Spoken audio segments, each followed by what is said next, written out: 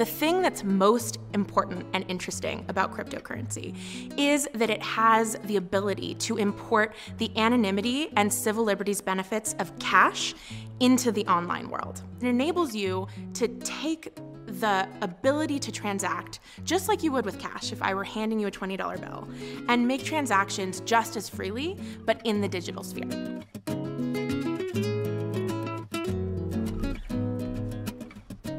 What I'm most excited about with the projects that the Filecoin Foundation and the Filecoin Foundation for the Decentralized Web are working on is taking this decentralized web technology and using it to enhance civil liberties. In the financial context, one of the things that I think we have come to accept as normal is that most of our transactions are surveilled.